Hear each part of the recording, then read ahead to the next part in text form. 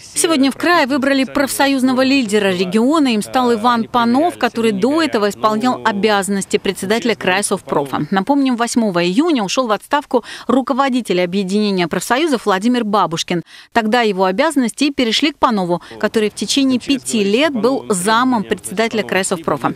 А сегодня его официально избрали профсоюзным лидером. Поскольку конференция была внеочередной, на посту руководителя края Совпрофа он будет работать всего два с половиной года, а не пять лет.